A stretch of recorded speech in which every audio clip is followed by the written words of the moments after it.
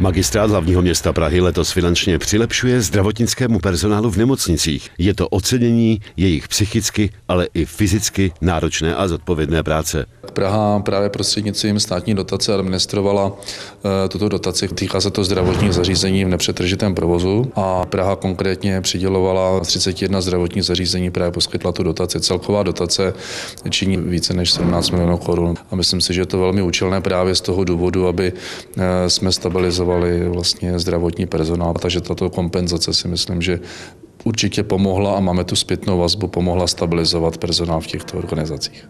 Jednou z pražských nemocnic, které se dotace také týká, je Městská nemocnice následné péče ve Vysočanech. Jejími klienty jsou převážně starší lidé v pooperačních stavech. Tady to spektrum pacientů je dané poměrně dlouhodobě. Jsou tady především pacienti, jejichž hospitalizace je několika týdenní až měsíční, třeba po náhradě e, kyčelního kloubu. Ten provoz je poměrně pro personál náročný, protože se jedná o pacienty převážně vyššího věku, eh, s nimi je náročnější komunikace, eh, náročnější ošetřovatelská péče. Prostě není to úplně takový ten, ten běžný jakoby provoz. Nemocnice, a to nejenom v Praze, se dlouhodobě potýkají s nedostatkem personálu. Finanční přilepšení by tak mělo alespoň částečně tuto situaci stabilizovat. Tomáš Mladějovský, televize Praha.